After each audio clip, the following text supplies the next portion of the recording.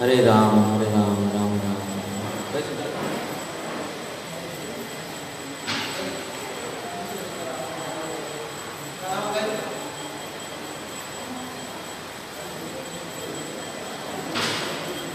ওম অজ্ঞানতমিরঞ্জস্য জ্ঞানাঞ্জনশলাকয়া চক্ষুরুন্মিলিতং যেন শ্রী গুরবে নম।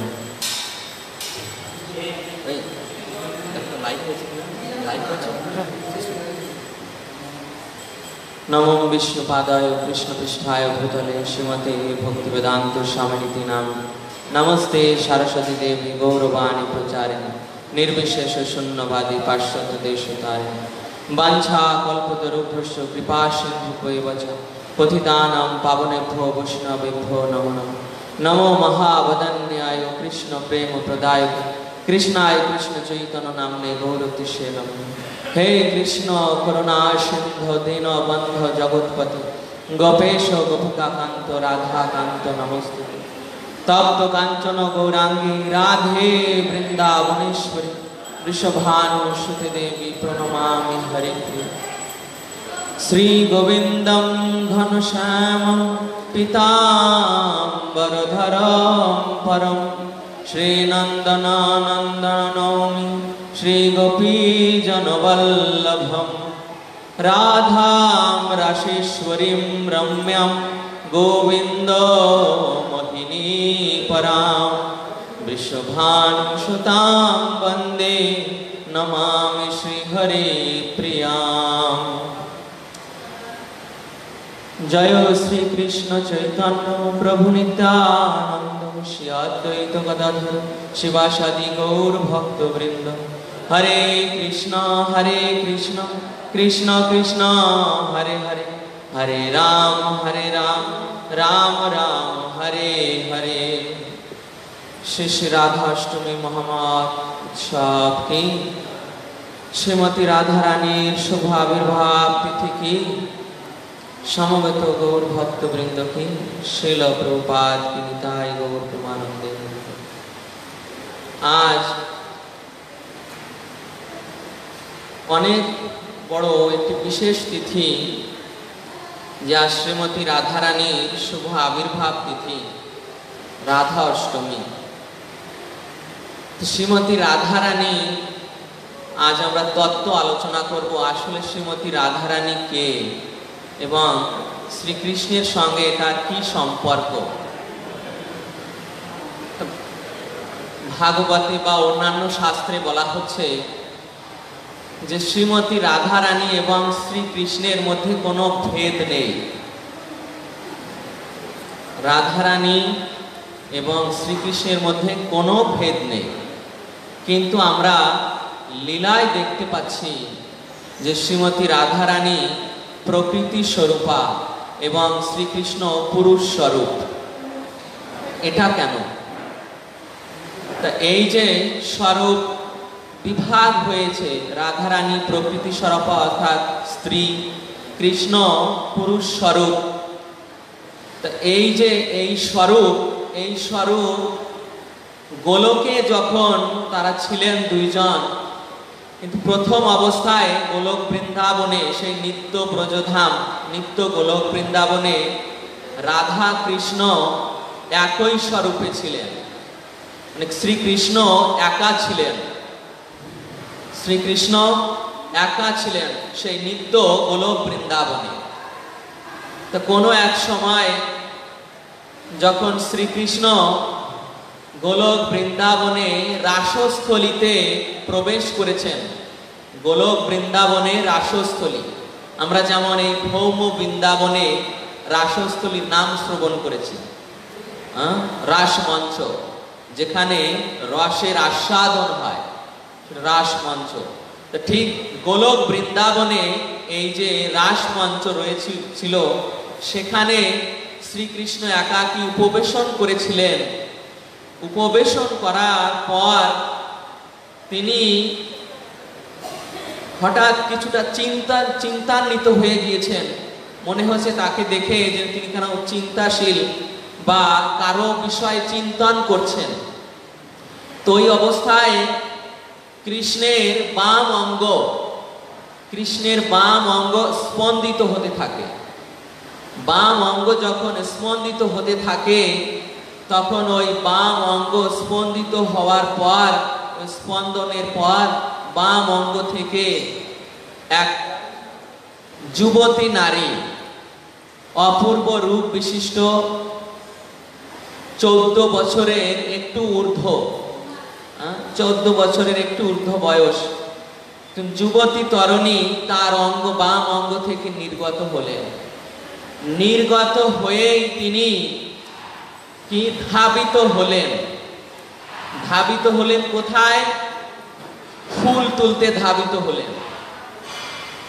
ফুল তুলে এনে বৃক্ষ থেকে ফুল তুলে এনে শ্রীকৃষ্ণের চরণে তা নিবেদন করলেন। এই যে রাসস্থলিতে উৎপন্ন হয়েছিলেন, তাই প্রথম অক্ষর রা। এবং আবির্ভূত হয়ে ধাবিত হয়েছিলেন কৃষ্ণকে সেবা করার জন্য। ফুল তুলে এনে কৃষ্ণের চরণে প্রদান করলেন। ধাবমান, রাধা রাধা, শ্রীমতী রাধা রানী এইভাবে অনাদিকাল থেকে কৃষ্ণ গোলক বৃন্দাবনে তারা দুইজন পৃথক দেহ ধারণ করে আছেন।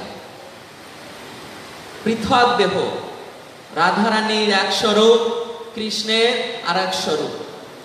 কৃষ্ণ হচ্ছে রসের আশ্রয় এবং রাধারানী হচ্ছে স্বয়ং মহাভাব স্বরূপ। কৃষ্ণের এক জাতীয় রস আস্বাদন করেন রাধারানী অন্য জাতীয় রস আস্বাদন করে। যখন পৃথক হয়ে গিয়েছেন, সেই পৃথক অবস্থায় অনাদিকাল ধরে সেই গোলক বৃন্দাবনে রাসলীলা আদি বিভিন্ন ক্রীড়া করে আসছেন এবং এর মাধ্যমে রাধারানী কৃষ্ণকে আনন্দ প্রদান করছেন। চৈতন্য চরিতামৃতে আমরা একটি শ্লোক পেয়েছি যেখানে শ্রী চৈতন্য মহাপ্রভুর আবির্ভাবের বিষয়ে এই শ্লোকটি ছিল স্বরূপ দমদার গোস্বামী তার পছড়ায় লিখেছিলেন, রাধা কৃষ্ণ প্রণয় বিকৃতি লাদিনী শক্তি স্মা দেকাত্মনা বপি ভুবি পুরা দেহ ভেদম গত চৈতন্যক্ষম প্রকট মধুনা তদ্দয়াম চৈক্যমাপ্তম, রাধা ভাবদূতি সুবলিতম নৌমি কৃষ্ণ স্বরূপম।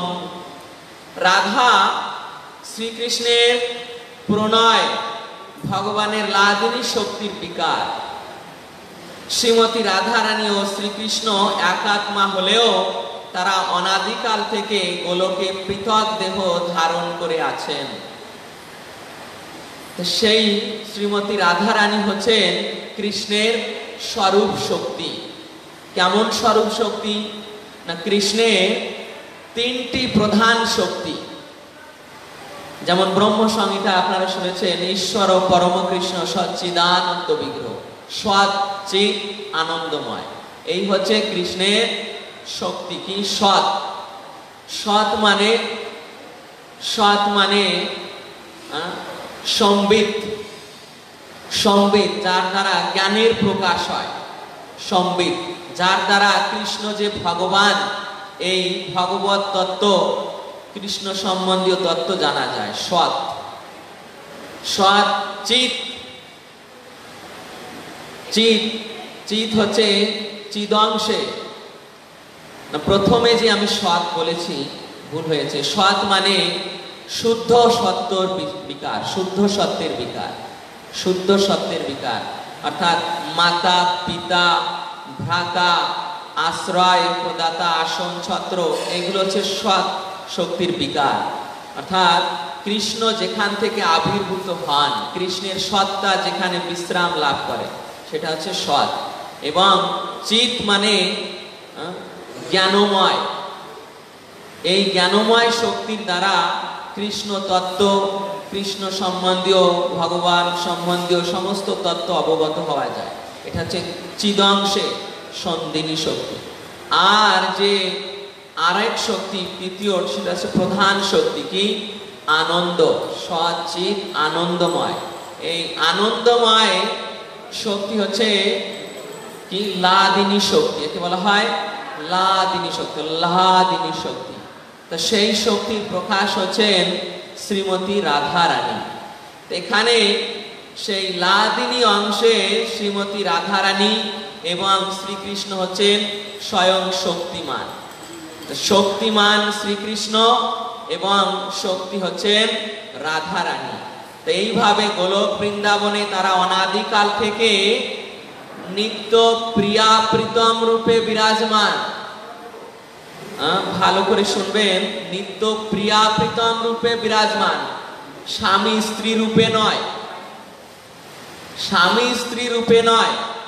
হোলিনেস শ্রীপাদ রাধা গোবিন্দ গোস্বামী মহারাজ এই তথ্যটি প্রকাশ করেছেন যে রাধা কৃষ্ণ গোলক বৃন্দাবনে রয়েছেন, কিন্তু তারা কিন্তু স্বামী স্ত্রী রূপে গোলক বৃন্দাবনে নেই। তারা কিন্তু নিত্য প্রিয়া প্রীতম রূপে বিদ্যমান। নিত্য প্রিয়া প্রীতম, অর্থাৎ কৃষ্ণ প্রিয়তম এবং শ্রীমতী রাধারানী তার প্রেয়সী, সর্বশ্রেষ্ঠ প্রেয়সী। এইভাবে গোলক বৃন্দাবনে সেই রস আস্বাদনে রয়েছে অনাদিকাল থেকে। এখন এই জগতে শ্রীমতী রাধারানী এবং শ্রীকৃষ্ণ প্রকটিত হয়ে যে লীলা বিলাস করেছেন, তার মধ্যে কিছুটা ভিন্নতা দেখা যায়। ভিন্নতা কি? যে গোলক বৃন্দাবনে কিন্তু বাল্য লীলা নেই, জন্ম লীলা নেই, বাল্য লীলা নেই পৌগণ্ড লীলা নেই, সেখানে কিন্তু সেই কৈশোর লীলা, নিত্য কৈশোর বয়স। কিশোর, কিশোরী। হ্যাঁ কৃষ্ণ চোদ্দ থেকে একটু ঊর্ধ্ব, রাধারানীও তার একটু ছোট। সেইভাবে নিত্য কিশোর, কিশোরী লীলা সেখানে। আর এই ভৌম বৃন্দাবনে সেখানে জন্মলীলা রয়েছে, অর্থাৎ আবির্ভাব বাল্য লীলা তারপর পৌগণ্ড লীলা তারপর কৈশোর লীলা হ্যাঁ কৃষ্ণের এই ত্রিভিদ লীলা। তা এই ভৌম বৃন্দাবনে যখন শ্রীকৃষ্ণ প্রকট হন, জানেন আপনারা যে নন্দ মহারাজের গৃহে শ্রীকৃষ্ণ আবির্ভূত হয়েছিলেন। শ্রীকৃষ্ণের আবির্ভাবেরও বিশেষ তাৎপর্য রয়েছে যে শ্রীকৃষ্ণ আবির্ভূত হয়েছেন বসুদেবে গৃহে, অর্থাৎ কংসের কারাগারে, সেখানেও বাসুদেব কৃষ্ণ আবির্ভূত হয়েছেন। আবার নন্দালয়ে নন্দনন্দন শ্রীকৃষ্ণ আবির্ভূত হয়েছে দুই স্থানে শ্রীকৃষ্ণ একই সময় আবির্ভূত হয়েছে হ্যাঁ? দুই স্থানে একই সময় নন্দনন্দন শ্রীকৃষ্ণ আবির্ভূত হয়েছেন, নন্দালয়ে এবং বাসুদেব কৃষ্ণ আবির্ভূত হয়েছেন কংসের কারাগারে। হ্যাঁ? এই শ্রীকৃষ্ণের আবির্ভাব এবং রাধারানীর আবির্ভাব, রাধারানী আবির্ভাব বিভিন্ন কল্পে বিভিন্ন রকম ভাবে হয়েছে বিভিন্ন কল্পে। যে আপনারা শুনেছেন চৈতন্য চরিতামৃতে বর্ণনা করা হয়েছে যে শ্রীকৃষ্ণ ব্রহ্মার প্রতিদিনে, অর্থাৎ প্রতি কল্পে ব্রহ্মার একদিনকে এক কল্পকাল বলা হয়। সেই ব্রহ্মাজির প্রতিদিনে শ্রীকৃষ্ণ একবার এই জগতে আসেন তার স্বধাম স্বীয় পরিকর সঙ্গে নিয়ে। তা ঠিক রাধারানীও এইভাবে শ্রীকৃষ্ণের সঙ্গে এসেছিলেন, ব্রহ্মার প্রতিদিনে। তো রাধারানীর কি নিত্য পিতা মাতা বৃষভানুরাজ এবং মাতা কীর্তিদাস সুন্দরী। এই যে বৃষভানুরাজ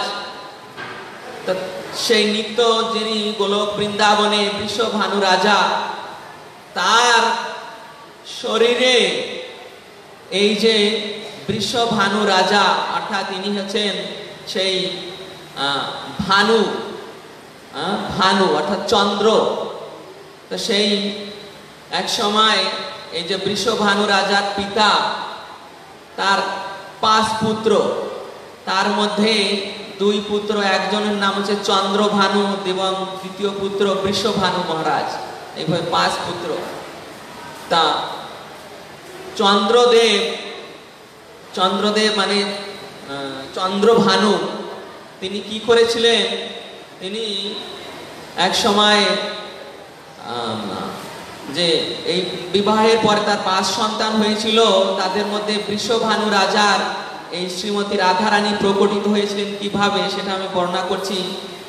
যে আপনারা নাম শুনেছেন কিনা? বিন্ধ্যাচল পর্বত। বিন্ধ্যাচল পর্বতের নাম শুনেছেন কিনা? বিন্ধ্যাচল পর্বত। যখন যে সতী দেবী এই যে হিমালয়ের, হিমালয় পর্বতের কন্যা রূপে আবির্ভূত হয়েছিলেন সতী দেবী। যখন সতী দেবী তার পিতার প্রতি ক্রোধিত হয়ে নিজে যজ্ঞাগ্নিতে আত্মাহুতি দিয়েছিলেন সতী দেবী। সেই সতী দেবী পরবর্তীতে পার্বতী রূপে হিমালয় পর্বতের কন্যা রূপে আবির্ভূত হয়েছিলেন। হিমালয় পর্বতের কন্যা রূপে। তা তিনি আবির্ভূত হয়ে সতী দেবী সাধনা করার পর শিব ঠাকুরকে প্রতিরূপে গ্রহণ করেছিলেন। শিব ঠাকুরকে প্রতিরূপে গ্রহণ করার পর যখন সেই বিবাহ উৎসবে সেই এই হিমালয় পর্বত সমস্ত লোকদের, ত্রিভুবনের সমস্ত দেব দেবী পাহাড় পর্বত সবাইকে নিমন্ত্রণ করেছিলেন তাদের গৃহে। তখন সেখানে বৃন্ধাচল পর্বত গিয়েছিলেন। তা বৃন্ধাচল পর্বত গিয়ে দেখলেন যে এই হিমালয় পর্বতের জামাতা হয়েছেন দেবাদিদেব মহাদেব, যিনি ব্রহ্মা আপনি অন্যান্য দেবতাদেরও পূজ্য। সেই মহাদেব হয়েছেন হিমালয়ের জামাতা। তা এই বিন্ধ্যাচল পর্বতের মনেও একটু আসক্তির উদয় হলো। তিনি চিন্তা করলেন যে হিমালয়ে তো গৌরব অনেক বেড়ে গিয়েছে, যে সে জামাতা রূপে দেবাদিদেব মহাদেবকে পেয়েছে। তা আমি, আমিও কামনা করি যেন আমার এমন একটি কন্যা হয়, যার পতি হবে এই দেবাদিদেব, মহাদেব ব্রহ্মাজি এবং ত্রিলোকের সমস্ত দেবতাদেরও পূজনীয়। তা সেই, এই মানসে তিনি তপস্যা করতে লাগলেন ভগবান নারায়ণ। ভগবানের নারায়ণের তপস্যা করার পর নারায়ণ সন্তুষ্ট হয়ে তার সামনে যখন এলেন, তখন এই চন্দ্রভানু, ইনি কি করলেন? ইনি তখন আশীর্বাদ কামনা করলেন যে, হে প্রভু, আপনি আমাকে কৃপা করুন যে আমার যেন এমন একটি কন্যা হয় যার পতি হবে। এই ত্রিভুবনে ব্রহ্মা, শিব আদি দেবতাদেরও পূজনীয়, আরাধ্য। তখন ভগবান নারায়ণ তথাস্ত বললেন ভগবান নারায়ণ তথাস্ত বলার পর চিন্তা করলেন যে, ব্রহ্মা, শিব আদি দেবতাদের কে আরাধ্য হতে পারে? সে তো একমাত্র আমি। তাহলে আমি তার জামাতা হব। আর তাহলে আমি যদি জামাতা হই, তাহলে আমার নিত্য প্রিয়া রাধা রানীকে তার কন্যা রূপে প্রেরণ করতে হবে। তা সেই গোলক বৃন্দাবন থেকে রাধা রানীকে সেখানে ওই বিন্ধ্যাচল পর্বতের কন্যা রূপে প্রেরণ করা হলো। বিন্ধ্যাচল পর্বতের কন্যা রূপে। এবং শুধু রাধা রানীকে নয় রাধা রানী এবং চন্দ্রাবলী, দুই যমজ কন্যা। এই দুই যমজ কন্যা যখন সংস্কার করছেন বিন্ধ্যাচল পর্বত, তখন সবাইকে নিমন্ত্রণ করেছেন। নিমন্ত্রণ করার পর সেখানে স্বর্গ থেকে আদি বিভিন্ন লোক থেকে দেব দেবতাগণ, ঋষিগণ এসেছেন। সেখানে নারদ মুনিও এসেছেন। নারদ মুনি এসে ওই বিন্ধ্যাচলের কন্যাকে দেখে চিনে ফেলেছেন যে ইনি রাধারানী। চিনে তিনি কংসের কাছে চলে গিয়েছেন। কংসের কাছে গিয়ে কংসকে বলছেন যে, হে কংস এই যে বিন্ধ্যাচলের কন্যা হয়েছে, যমজ কন্যা, এই কন্যাদের যে বিবাহ করবে, সে সর্বাপেক্ষা ঐশ্বর্যশালী, সর্বাপেক্ষা যশস্বালী সর্বাপেক্ষা শক্তিমান হবে। তখন কংস এই চিন্তা করছে, তাহলে এই কন্যাকে আমি হরণ করে নিয়ে আসি আর আমার আশ্রয় নিয়ে কে পালন করব। পালন করার পর আমি এই কন্যাকে বিবাহ করব। এই এই মানুষে কংস তখন পুতনা রাক্ষসীকে পাঠিয়েছে যে, হে পুতনা, তুমি বিন্ধ্যাচলে যাও। বিন্ধ্যাচলের কন্যাকে উঠিয়ে নিয়ে এসো। তখন পুতনা রাক্ষসী খেচরি মানে আকাশ পথে উড়ে তিনি চলেছেন বিন্ধ্যাচলে। তখন ওই উৎসবে, উৎসবের মাঝে গিয়ে যখন এক কক্ষে রাধারানী এবং চন্দ্রাবলীকে দোলনায় রাখা হয়েছে, তখন পুতনা গিয়ে দুহাত দিয়ে দুই কন্যাকে তুলে নিয়ে আকাশ পথে উড়ে চলেছেন। ওই অবস্থায় হঠাৎ কি হলো? যে ওই যে ওখানে রাখার জন্য ধাত্রীগণ ছিলেন, বাচ্চারা ছিলেন, তারা চিৎকার করে উঠেছেন। তখন চিৎকার শুনে সমস্ত পরিজন সমস্ত পরিজন জানতে পেরেছেন এবং মুনি ঋষিদের কাছে সেই সংবাদ পৌঁছে গিয়েছে। মুনি ঋষিরা যজ্ঞ করছিলেন, সেই যজ্ঞে তখন ওই রাক্ষসী নিধন মন্ত্র আহ্বান করে আহুতি দান করলেন। আহুতি দান করার পর তখন কি হলো? ওই পুতনা এমন তার শরীর নিস্তেজ হয়ে গেল যে তিনি আর হস্তে রাধারানী এবং ওই চন্দ্রাবলী দুইজনকে রাখতে পারলেন না, ফেলে দিলেন। তো ফেলে দিলেন কোথায়? ফেলে দিলেন এই বারসানা রাভেল গ্রামে রাভেল গ্রামে মহাবনে রাভেল গ্রামে। সে রাভেল গ্রামে যমুনা নদীর ভিতর পদ্মফুল প্রস্ফুটিত হয়েছে। সেই পদ্মফুলের উপর দুইজন পড়লেন, দুই কন্যা। তা বৃষভানুরাজ প্রতিদিন যমুনায় স্নান করতে যেতেন। স্নান করতে গিয়ে তিনি দেখছেন যে বিশাল এক পদ্মফুল তার পদ্মফুলের উপর এই দুই কন্যা শায়িত আছে। তখন তিনি ওই দুই কন্যাকে কোলে তুলে নিয়ে এক কন্যাকে কীর্তিদার কাছে দিলেন এবং অন্য কন্যাকে তার ওই ভ্রাতা ছোট ভাইয়ের গৃহে দিলেন। ছোট ভাই যাকে লালন পালন করেছিলেন সে হচ্ছে এই আহ, চন্দ্রাবলী এবং কীর্তিদাস সুন্দরী যাকে লালন পালন করেছিলেন, সে হচ্ছে রাধারানী। তো রাধারানী আবির্ভূত হয়েছেন, আবির্ভূত হয়ে কিন্তু তিনি তার চোখ দুটি বন্ধ করে রেখেছেন। কারণ তিনি কৃষ্ণকে কথা দিয়ে এসেছিলেন যে, হে কৃষ্ণ, আমি মর্তলোকে যাব, কিন্তু গিয়ে আমার চোখ আমি খুলবো না। যতক্ষণ না আমি তোমার দর্শন পাবো, ততক্ষণ আমি মর্তলোকের আর কাউকে দর্শন দিব না। এইভাবে রাধারানী চোখ বন্ধ করে রেখেছিলেন। তো ওই অবস্থায় নারদ মুনি এসেছিলেন কি কৃষ্ণকে দর্শন করতে গোকুলে। সেখান থেকে কৃষ্ণকে দর্শন করার পর ভাবলেন যে কৃষ্ণ যেখানে সেখানে তার নিত্য প্রিয়া রাধারানী। তাহলে আমি রাধারানীকেও দর্শন করে আসি। এইভাবে রাধারানীকে দর্শন করতে করতে প্রতি গৃহে যাচ্ছেন যে কোথায় কার নবজাত শিশু হয়েছে, নিয়ে এসো, সবাইকে আমি আশীর্বাদ করব। তখন যখন এক এক করে গোপ গোপীগণ নিজেদের সন্তানদের আনতে লাগলেন, তখন নারদ মুনি এক এক করে আশীর্বাদ দিচ্ছেন। আর তিনি খোঁজ করছেন, কোথায় রাধারানী? তো এইভাবে আশীর্বাদ দান করতে করতে তিনি কি বৃষভানু রাজার মহলে গেলেন। তো বৃষভানু রাজার মহলে গেলে প্রথমে কি কি, কাকে আনা হলো? শ্রীদামকে, রাধারানীর বড় ভাই।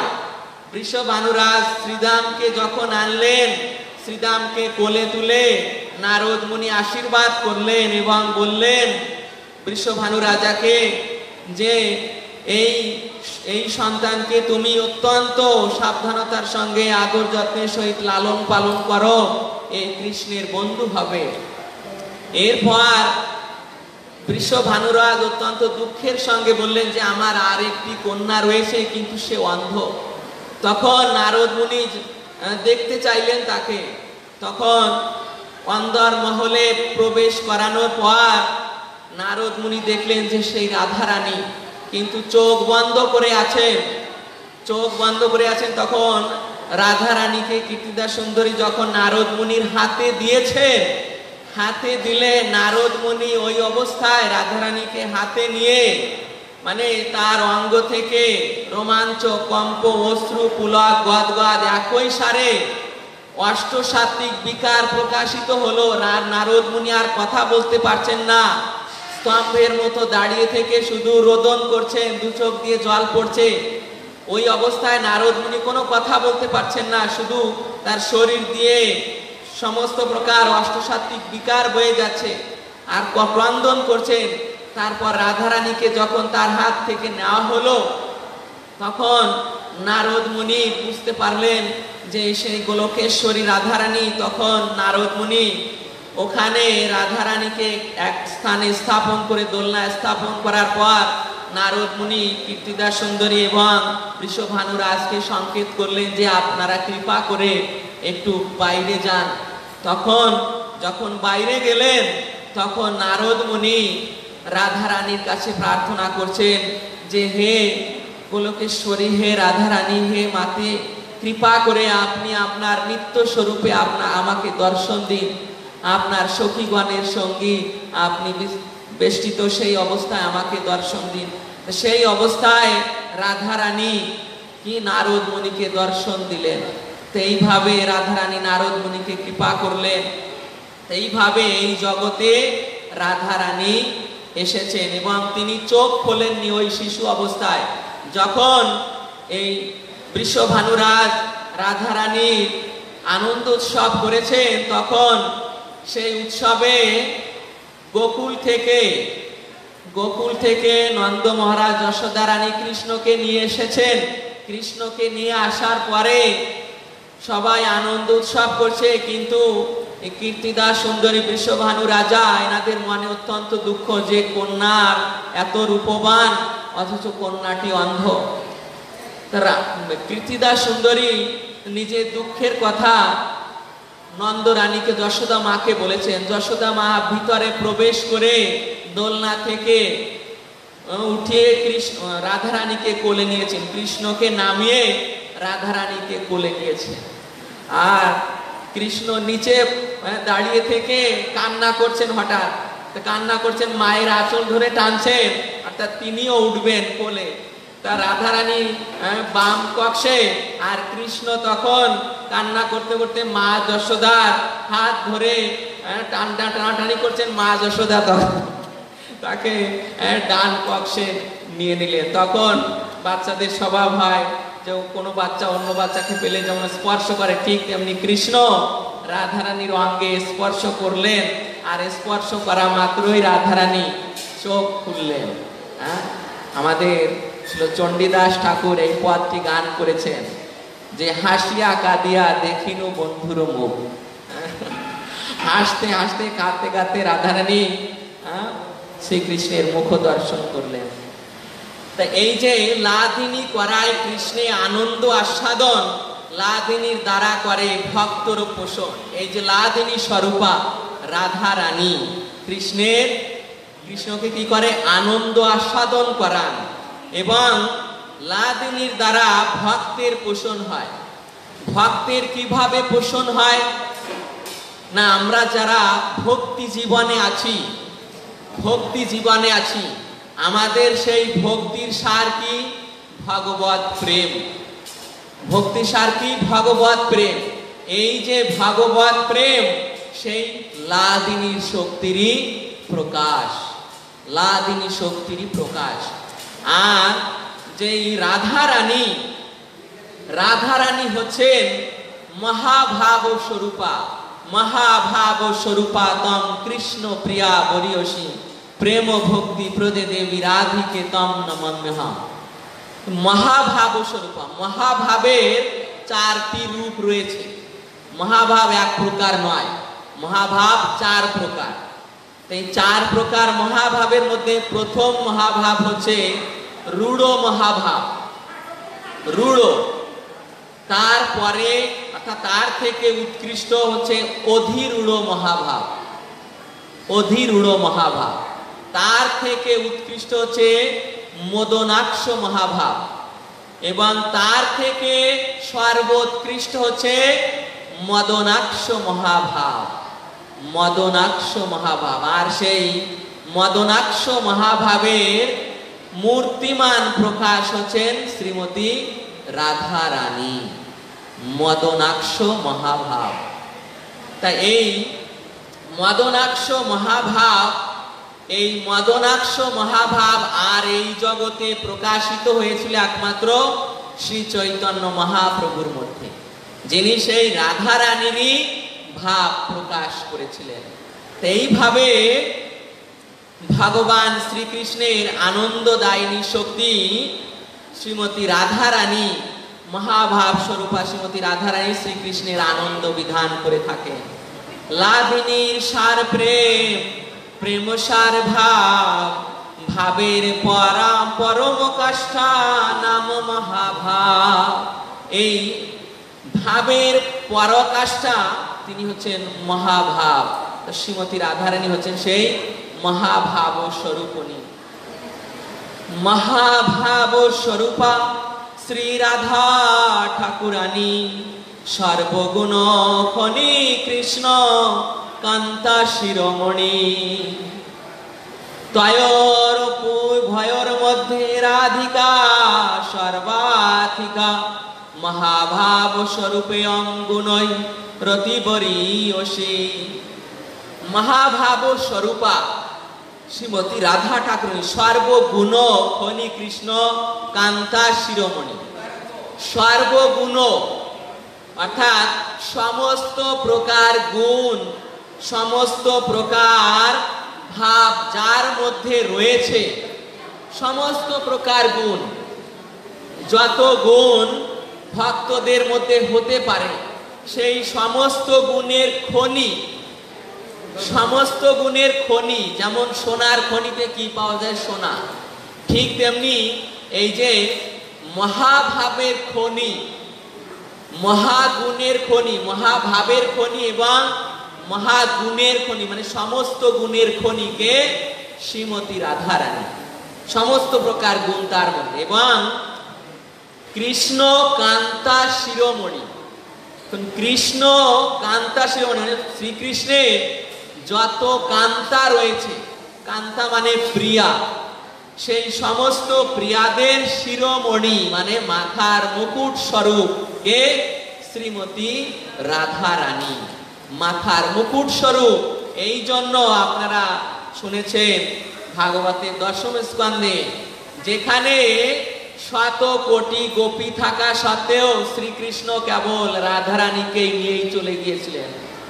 অনয়ারাধিত নুনম ভগবান হরিশ্বর যন্ন বিহায় গোবিন্দ প্রীত যমনাদ্রহ।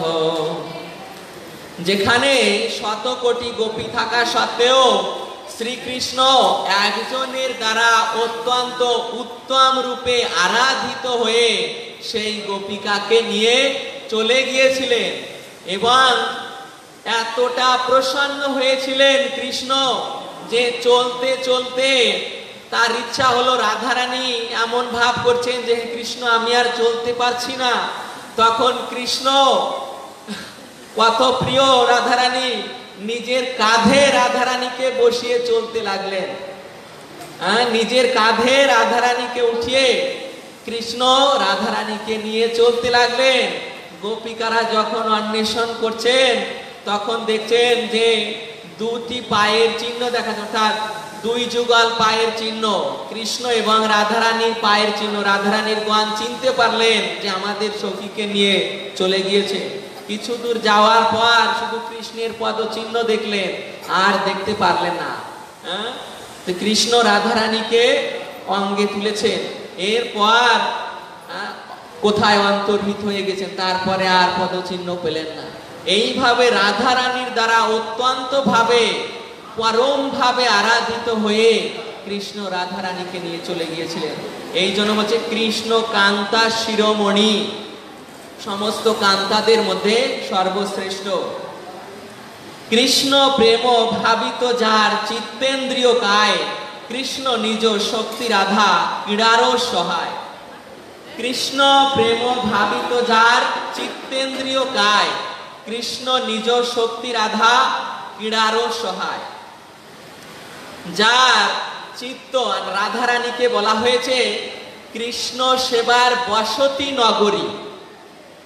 কৃষ্ণ প্রেমের বসতি নগরী।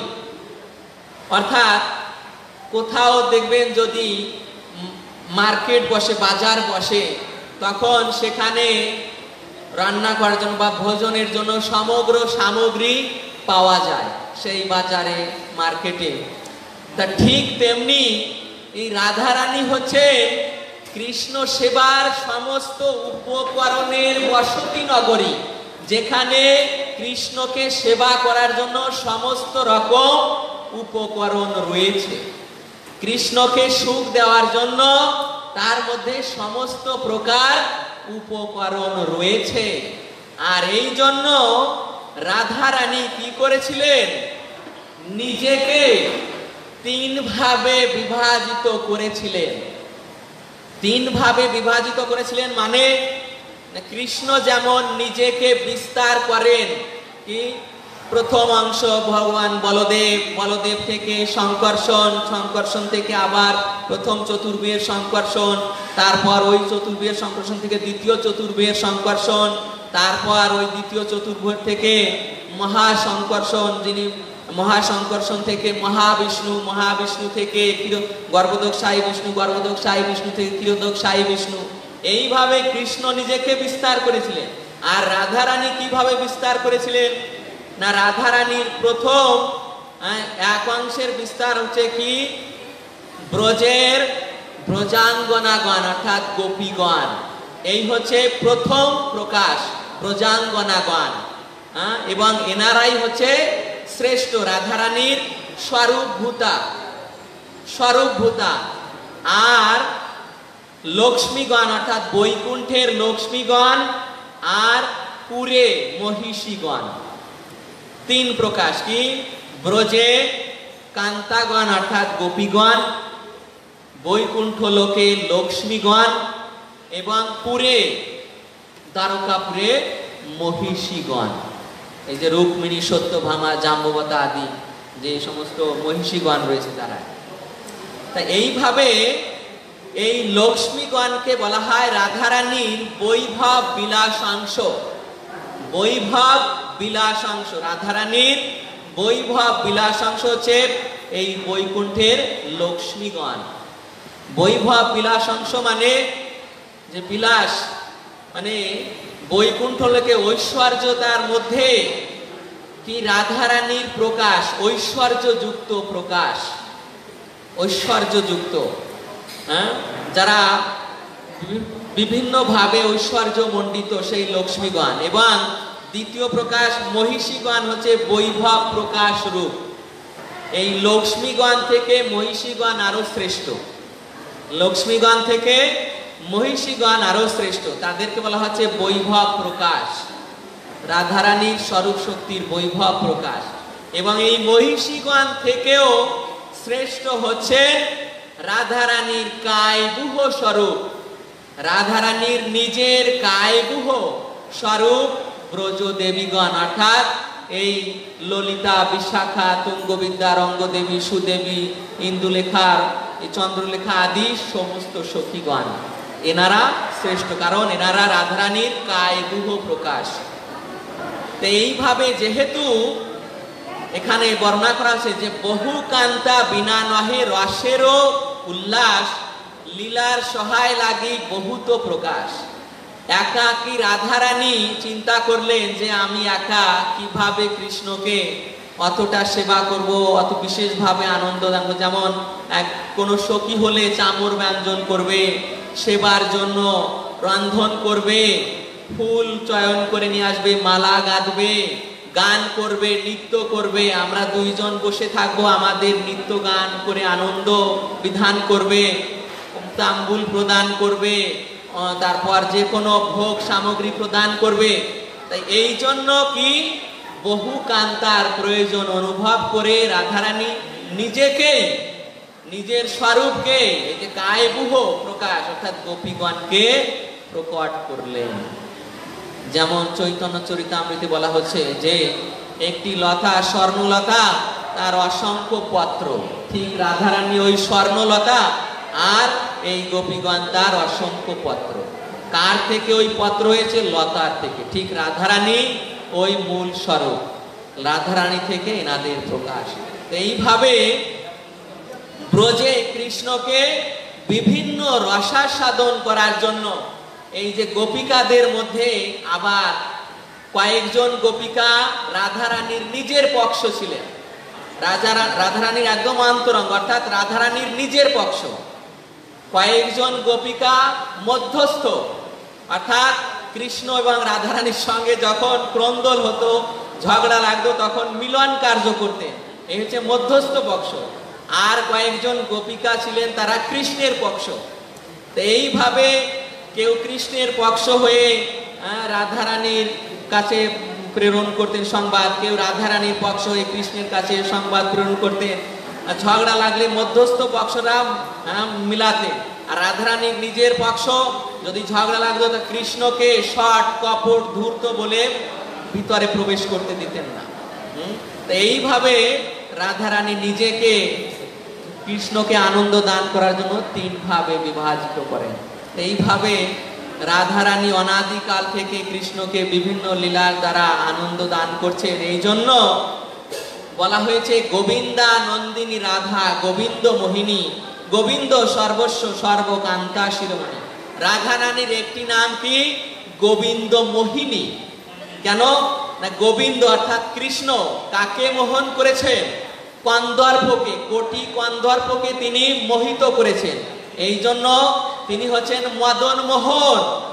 মদন মোহন, মদনকে যিনি মোহিত করেছেন। আর রাধারানী কি করেছেন? সেই মদন মোহনকেও মোহিত করেছেন। এই জন্য তার নাম মদন মোহন মোহিনী। তো এইভাবে রাধারানী কৃষ্ণকে আনন্দ দান করছেন। তিনি মদন মোহন মোহিনী। বিভিন্ন শাস্ত্রে তার অনেক তত্ত্ব আলোচনা করা হয়েছে। তিনি আমাদের এই শৃঙ্গার রসের, অর্থাৎ মাধুর্য রসের মূর্তিমান প্রকাশ, অর্থাৎ আমাদের যদি রূপ গোস্বামী একটা শ্লোক বলেছেন যে, তন্নাম রূপ চরিতাদি সুকীর্তনানু স্মৃত ক্রমেণ রসনা মনস্বী নিয়োজ্য তিষ্ঠান ব্রজে তদনুরাগী জনানুগামী কালম নয় দখিল মিতু উপদেশ সারম। এই সমস্ত উপদেশের সার বর্ণনা করা বলা হয়েছে। যারা যে রসে সেই রসের যারা তদনুযাগী ভক্ত, তাদের আশ্রিত হয়ে সেই রসের ভজনা করতে হবে।